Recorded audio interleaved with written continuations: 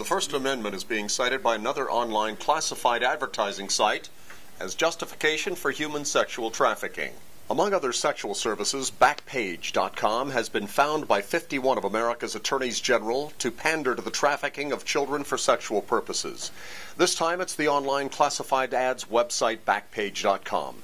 Owned by the same people who publish the Village Voice, Village Voice Media Incorporated, children are the primary victims this time. Now, fully 51 of the nation's top lawyers have issued a letter demanding that Backpage.com close its adult section after it was revealed that they had been willingly enabling the sexual trafficking of minors. Tuesday, Groundswell, the interfaith social justice group sponsored by the Auburn Seminary in New York, published a full page ad in the New York Times and cited the arrests of adults who had sold minors for sex using Backpage.com.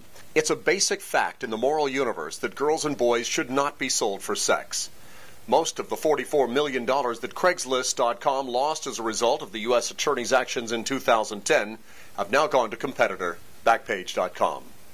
From the Christian Post Newsroom, I'm George J. Wienbarg.